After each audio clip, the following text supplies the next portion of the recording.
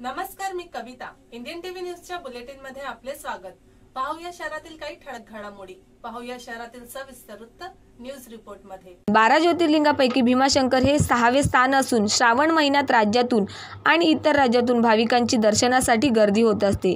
सध्याच्या पावसाचा कमी झालेला जोर आणि सुरळीत सुरू झालेले रस्ते यातून भाविक मोठ्या प्रमाणात घराबाहेर पडत आहेत. ते डोंगर माथ्यातून खांडस नादगाव मार्गे येणाऱ्या ट्रॅकरची संख्यातही वाढ होत आहे. सध्याच्या पावसाळ्यात मुंबईसह कोल्हापूर सांगली आणि महाराष्ट्रातील अनेक भागात मुसळधार पाऊस पडल्यामुळे पूरस्थिती निर्माण झाली होती. त्यातच कोल्हापूर सांगली या भागात अनेकांचे संसार विस्कळीत झाल्याने त्यांचे संसार पुन्हा सुरळीत हो असे साकडे काही शिवभक्तांनी शंकराला घातले.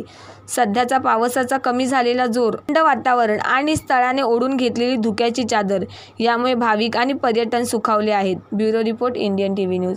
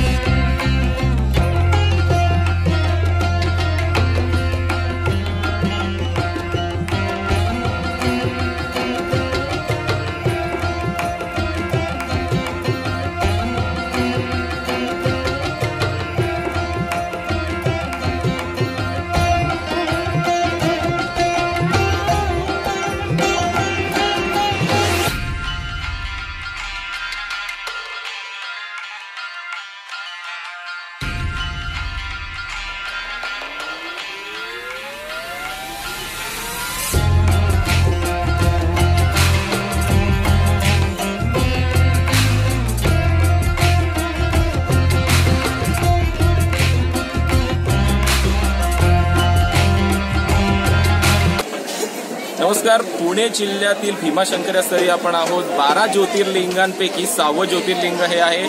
आणि श्रावण महिना सध्या तर सुरू आहे. भाविकांची मोठ्या प्रमाणात इथे गर्दी झालेली आहे. आपण पाहू शकता इथे मोठ्या प्रमाणावरती रांगा आहेत भाविकांच्या.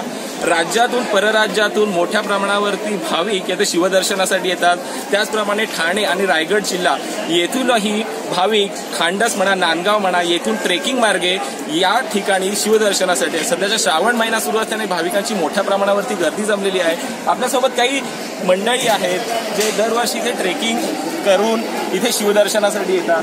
नमस्कार आपण दरवर्षी इथे येता असं आता कळालेलं आहे. तर काय आहे तुमचा इकडचा अनुभव?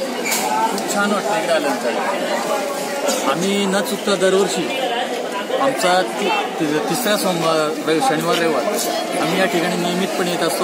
आमचा एक पस्तीस ते चाळीस जणांचा ग्रुप अगदी आम्ही पायी प्रवास करत येतो. आणि अगदी दगड दगडाच्या वाटेतून चालताना आम्हाला एक आनंद मिळतो या ठिकाणी आल्यानंतर. मग यावर्षी तुम्ही दर्शन घेतलं तर काय? शिवशंकर जे आपले आराध्य दैवत आहे त्यांना तुम्ही यावेळेस काय मागणं घातलेलं आहे भोलेनाथांच्या चरणी आमची एकच प्रार्थना आहे. काही दिवसापूर्वीच कोल्हापूर सांगली अगदी मुंबईसारख्या ठिकाणी महापुरानं थैमान घातलं होतं. तर भोले भोलेनाथांच्या चरणी आम्ही एवढीच प्रार्थना करतो की अशी नैसर्गिक आपत्ती कधी येऊ देऊ नका. आणि ज्यांच्या भोवती ही जी घटना घडलेली आहे ज्या पुरामध्ये ज्यांचं जीवितहानी झाली आहे तर ती जीवितहानी भरून निघो आणि त्यांना भोलेनाथ त्यांच्या पाठीशी उभं राहून त्यांना एक शक्ती देव आणि अशी पुन्हा पुन्हा कधी अशी पुराची अवस्था होऊ नये अशी एवढी त्यांच्या प्रार्थना आहे. खूपच सुंदर संकल्पना आहे. दरवर्षी ही मंडळी येतात ट्रेकिंग करतात आणि यावर्षी कोल्हापूर सांगली या ठिकाणी जो पावसाचा खूप महापूर झालाय त्यामुळे इथे जे जनजीवन विस्कळीत झालं होतं ते सुरळीत करण्यासाठी येथे शिवभक्त शिव शि, आपल्या देवताकडे इथे प्रार्थना करत आहेत. सध्याचा पावसाचा जोर कमी झालेला आहे आणि सुंदर आल्हाददायक वातावरण हे सुद्धा इथे येण्याचं एक आकर्षण केंद्रबिंदू ठरत आहे. तर या होत्या इंडियन टीव्ही न्यूज. तुम्हाला आमच्याशी संपर्क साधायचा असल्यास पुढील क्रमांकावर संपर्क साधू शकता. Nine three two zero four two zero four two zero. तर आता वेळ झाली निरोप घेण्याची. नमस्कार.